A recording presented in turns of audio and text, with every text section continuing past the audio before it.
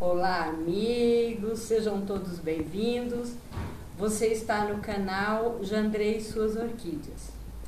Você consegue olhar para o vegetativo de uma orquídea e dizer se é uma catleia ou se não é uma catleia? Por que, que é importante você saber identificar qual é o tipo de orquídea que você tem? Se você quer saber, se você quer mais conteúdo sobre isso, vem comigo neste vídeo. Este é o primeiro vídeo do canal. Eu estava aguardando a floração desta moça linda, cheirosa, gigante, para gravar o meu primeiro vídeo. E neste momento eu quero aproveitar para fazer uma homenagem à minha tia Julita Jandrei, que era a proprietária deste exemplar. Esta moça aqui é uma catleia. Por que, que é importante saber qual é o tipo da sua orquídea? Você precisa saber qual é o tipo da sua orquídea para depois descobrir um pouco sobre seus hábitos e suas preferências.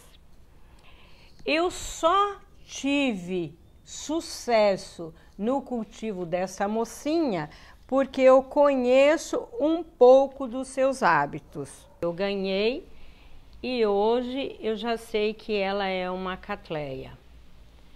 Como que é feita essa identificação?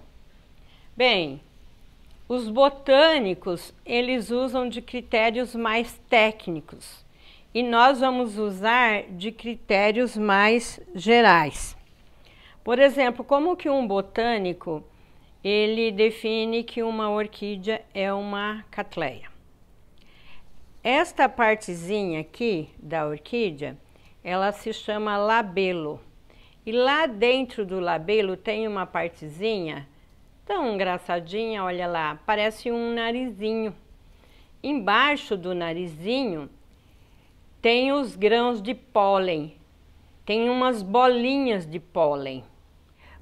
Para um botânico chegar à conclusão que uma orquídea é uma catleia, por mais que ela pareça que seja uma catleia, eles analisam lá dentro do labelo, essa parte reprodutiva, as bolinhas de pólen e se tiver quatro bolinhas de pólen, eles dão o laudo que a planta é uma catleia. Bem, e nós, como nós vamos fazer? Nós vamos olhar as características da planta. Por exemplo, olha essa catleia aqui, ela tem essas partezinhas gordinhas aqui, que é chamada de pseudobulbo. Eles chamam de pseudobulbo porque ela está acima da terra, ela está acima do chão. Se estivesse lá dentro, guardado lá dentro, eles iam chamar de bulbo. Como está fora, chamam de pseudobulbo. Esta catleia aqui, então, ela tem um pseudobulbo e uma folha, olha. Todas elas têm um pseudobulbo e uma folha. Então, ela é chamada de catleia unifoliada. Agora, observe esse outro exemplar aqui, ó. Também é uma catleia.